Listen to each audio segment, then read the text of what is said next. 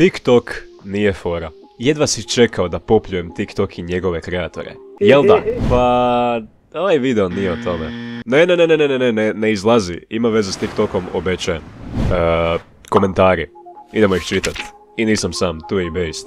Počnimo. Prvi komentar koji ću vam pročitati je Ti nisi fora. Troje ljudi se slaže. Slažem se i ja, ali imam nešto za nadodati ovoj osobi. Ni ti nisi fora jer vjerojatno nisi zveknula subscribe, a svi koji su to napravili su izuzetno fora. Tako da smo jednaki.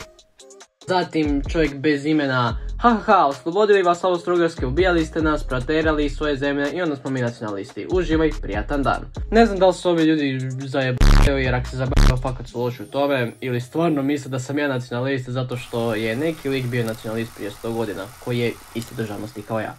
Upiši kod U89, ma maršu pit, niko ne zna da je danas 60 godina od sahrane sta...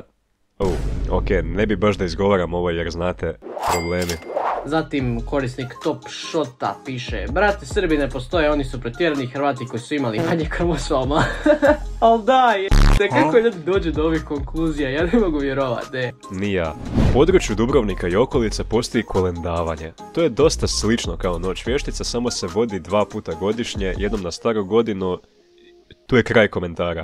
Kad se obilježava drugi put? Ako znate, hraknite to u komentare. Čovjek pod nazivom Pauk piše Ne, nego ako si pravoslavac, onda si milijun posto Srbin. Tako ide. Gospodin Pauk je objasnio nevjerojatno da u 21. stoljeću i dalje neki brkaju nacionalnost i vjeroispovijest. Da, tužnost. Upiš NE! Na isječku o Snapchatu gdje govorim da su vatrice beskorisne sam dobio komentar E brate, hoćemo skupljati. ne! Zatim korisnik pod nazivom Peša. Odjebi Kidaro, pička materina, ne vaspitana, Kidaro bolesna. Kako poetično. Ovaj nema curu, pa nisi ništa krivo rekao. Da! Doista nisi, Viktore.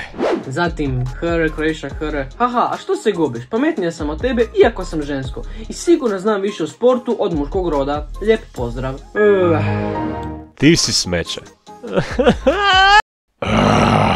Dosta. Subscribe ili nisi fora. Klub gori tek je pola pet, moja braća lome flaše troši dolare. Hoće nešto da mi pokaže.